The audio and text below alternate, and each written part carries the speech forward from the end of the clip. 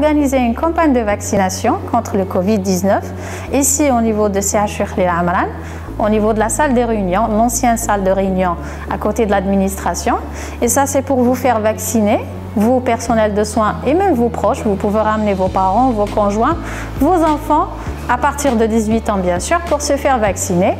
Donc le vaccin qu'on fait actuellement c'est le Sinovac, c'est le vaccin chinois.